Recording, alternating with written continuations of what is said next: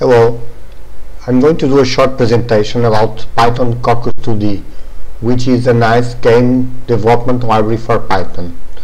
It is not widely used as some other libraries, for example Pygame, but it does have some interesting features that I'm going to show you. Uh, to use Python Cocos 2D, I'm going to use PyCharm, which is my preferred editor. Uh, I'm going to use a project that I've developed uh, some time ago using Cocos 2D so we you can check out my project which is a nice base from from for a simple game. Okay you we are going to check out from git. It's um, pop the game and we are going to clone it. Yes we want to open as a project. Okay and we have a simple game using uh, Cocos 2D the main script, script is SamePop okay? As you can see PyCharm is complaining that it's unable to, to find Cocos this means we need to install Cocos the, the Cocos 2D library. It's, it's not usually available on your distribution on, on Linux distributions is not usually available as a package from the distributions but we can use PyCharm and uh, the Python package install tool. So we are going to file settings. We go to the project interpret interpreter and we can add libraries okay? Let's search for Cocos 2D and let's install the package. I'm going to install it at the system level so okay it's installed. Let's close close. Okay as you can see it was successfully installed and we we can it's already available. Um, you see it is ready it's because I didn't properly set up the project but it will work anyway. So let's just try to run the game. We run SamePop and it just works. Okay it's it's not it's not a genuine game. Well it's working. So I'm going to now I'm going to show you uh, what are the elements of the game so that you can work on a, some game? Okay the main the main script doesn't doesn't do much. It just sets up the directory for resources. Resources are my the game images which you you have here.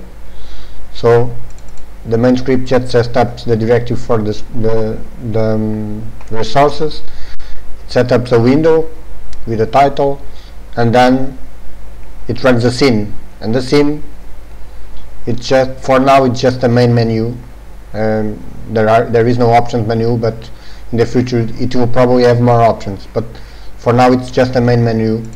The main menu is built here. I set up the font the font and we we add, we add items here. And we have the actions for on new game.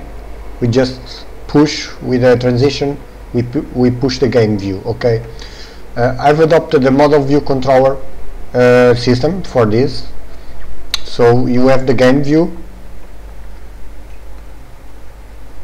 which doesn't have much much just uh, sets the head-up display the model which um, which will show the, the entire game screen. We start the model, we set objectives on, on the head-up display and we show the message. And we show the message during some events. Okay? Now I'm going to show you the game controller, which is very simple. This game just uses mouse, so the game controller is just a, a wrapper around the mouse events and calls on mouse press and on, on mouse drag on our model so the real game engine its own game model. As you can see we have the data structure to to keep everything that we need to track in order to to move the pieces and to identify um, the pieces that need to be switched and collided. So this is the, the game control. We set our objectives we fill with random titles we swap elements during on mouse we implode lines after on mouse and we drop groundless titles. Um,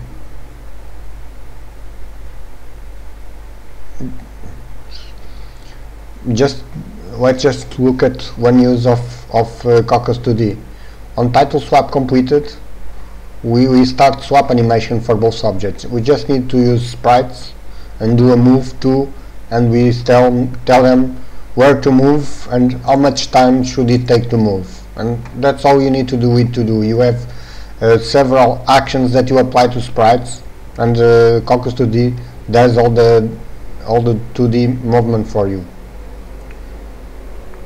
So we have the adapt display which is a bit more complex because it uses a score layer it uses a progress bar which shows how, how far you are on your objective and it shows you what level you are at and your score position the status bar the progress bar sorry the progress bar it's a more complex element because it's a custom component Cocos 2D component and we draw uh, it's the percentage of the status and we draw it using uh, OpenGL okay?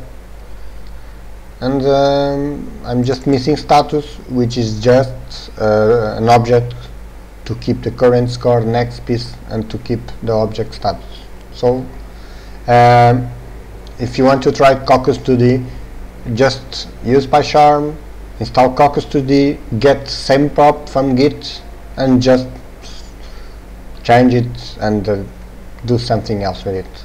I'm just going to show the game, the, the game again. New game. And you can see this is the progress bar that I was talking about. These are the objectives and we just need to go for the objectives. As you can see it will react when you, you can when you achieve one of the object the objectives. It's all for now. See you in the next presentation.